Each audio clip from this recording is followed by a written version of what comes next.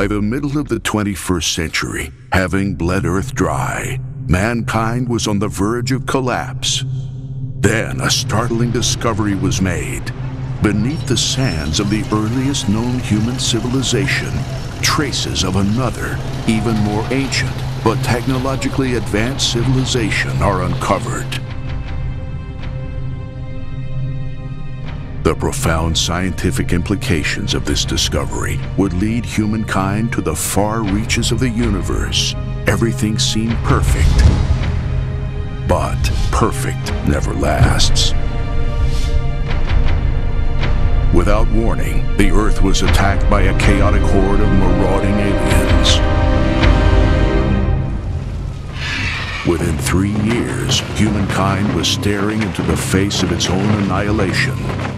In desperation, the world leaders turned to their last chance, an ancient artifact called the Time Lock. They believed this relic from a long-forgotten race was a portal to a point in ancient history and their only chance for survival. If only they knew how to turn it on.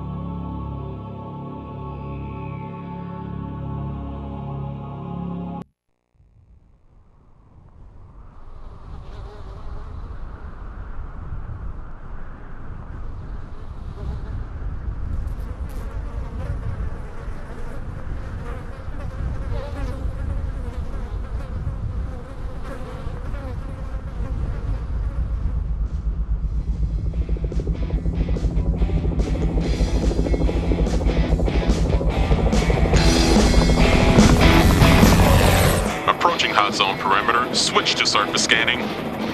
Surface scanning on. Activity nominal. What? No hospitality today?